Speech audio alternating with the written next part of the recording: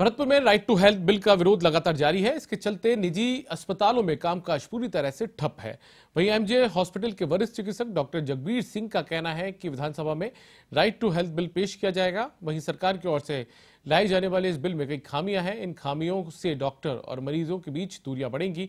ऐसे में डॉक्टर जगबीर सिंह ने इस बिल को चुनावी प्रोपेगेंडा बताया। इधर अस्पतालों में कामकाज ठप होने से मरीजों को परेशानियों का सामना करना पड़ रहा है।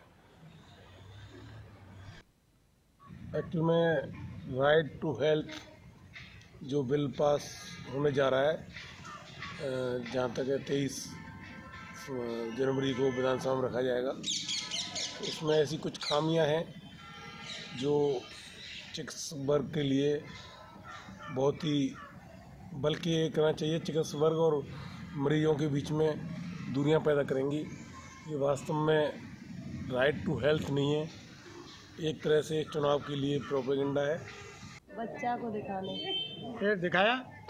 डॉक्टर है नहीं। क्यों? क्यों? पता नहीं क्यों।